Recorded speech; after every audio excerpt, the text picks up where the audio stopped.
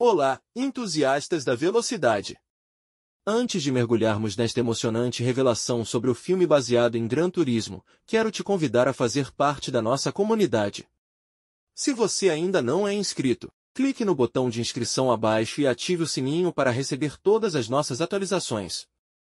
Vamos embarcar nessa jornada cheia de adrenalina juntos. Curiosidades sobre o filme Gran Turismo. Longa jornada.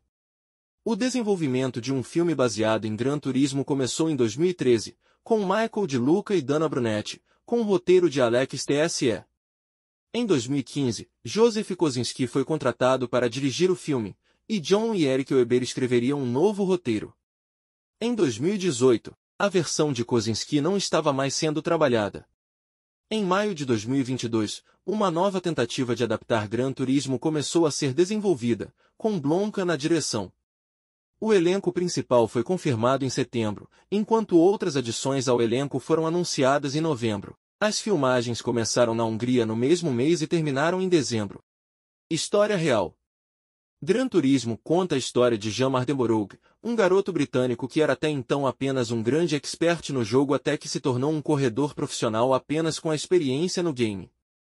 Ele entrou na GT Academy, que testou os jogadores para as pistas reais, Venceu 90 mil competidores e se tornou um piloto da Nissan, competindo em campeonatos ao redor do mundo e passando por pistas desafiadoras como uma corrida de 24 horas em Dubai e na Le Mans. Tudo isso aconteceu entre 2011 e 2013 e a história toda é contada no filme com Arshima Dev no papel de Janeiro.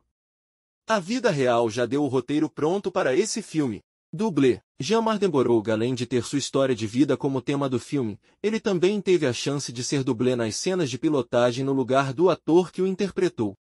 Rock e Top Gun O roteirista Zack Bailin revelou que Rock, um lutador, 1976, e Top Gun, Ases Indomáveis, 1986, foram suas inspirações para o filme. Filme de esporte? Em entrevista recente, David Arbor comentou que o filme de Gran Turismo não é para ser tratado como uma adaptação de games, mas sim como um longa de esportes. Segundo ele, a ideia de se basear em uma história verdadeira transforma a perspectiva do espectador para algo diferente.